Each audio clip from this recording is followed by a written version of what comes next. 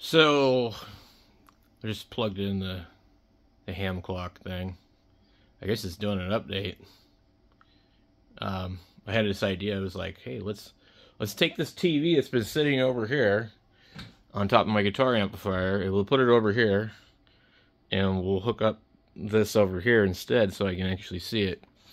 Um, it's a little bit too big, but it blocks some other stuff, but it's cool.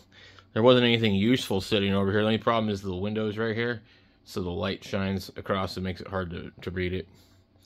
But uh, I was just moving some stuff around. So, just waiting for the ham clock to do its update on the Raspberry Pi.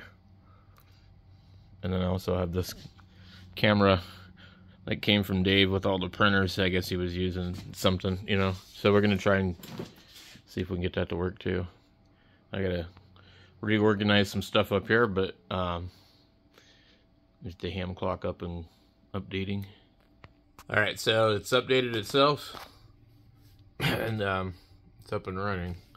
So it's just sitting here up on the shelf and I can see it really good if I look up but it's not in my face either so that's what's another good thing um, the screen resolution isn't quite correct because I had it on a different TV um, this is I don't know what size TV this is. 32 and it was on a 40 and apparently it remembers that.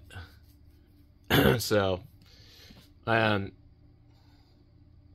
I probably could just put the 40 inch TV over here anyways because um, I'm going to move that MFJ tuner and um,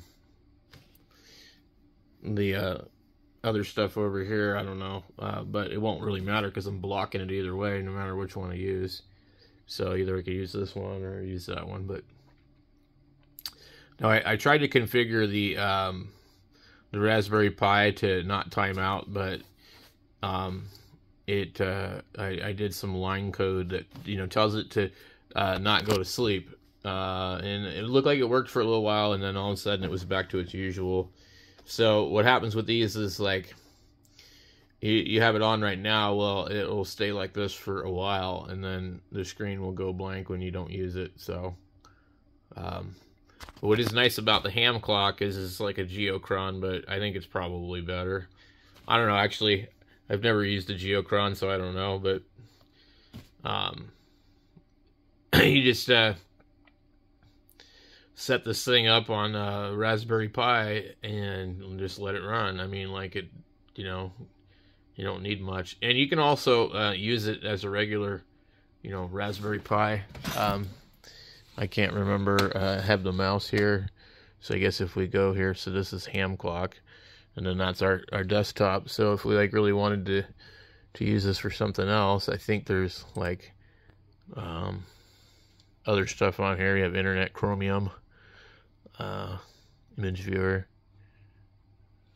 So it's actually pretty cool. So uh, I've never actually tried to use the internet on it. Um, I don't think Ham Clock will run without the internet, or you know, won't display very much information. I don't know how fast a Pi 3 runs, to be honest with you guys. Um, it looks like possibly pretty slow. Say not real fast.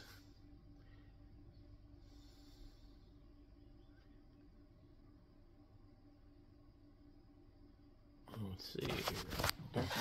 I don't have a, a keyboard hooked up to this either. Ham clock. So as you like the PDF, you can read how to use it and all that. Um, there's lots of information on the, the internet about ham clock. So if you have a Raspberry Pi and you're not using it to do anything, and you have an old TV that you're not using, um, this is a, a awesome way to use it. So anyway, I'll catch you guys later, and uh, who knows what we'll have. Uh, it's Friday, so some weird stuff's probably going to be on the radio. We'll catch you later.